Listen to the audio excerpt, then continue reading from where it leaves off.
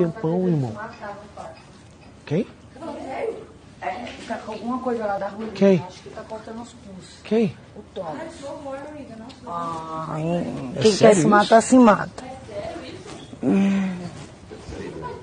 É sério, deu legal? Não sei o que é, não.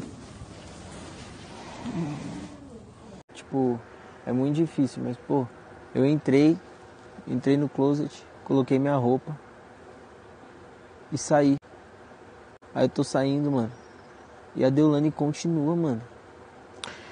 Mas aí é uma parada, tipo assim, da Deolane. Eu não posso chegar na Deolane e mandar ela parar porque é uma parada dela, tá ligado? Da mesma forma que você tá chegando e conversando comigo, você tem que tentar chegar e conversar com ela. Não existe. Ela falou, tá vendo? Vaso ruim quebra, quebra nada, ó como que volta, não sei o que. Eu falei, você tá falando pra mim? É. Mas por quê? Por quê? Porque você é um falso, mentiroso, argiloso, não sei o que, não sei o que lá.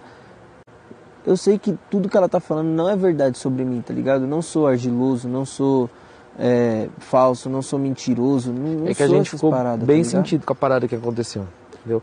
O grupo inteiro sentiu.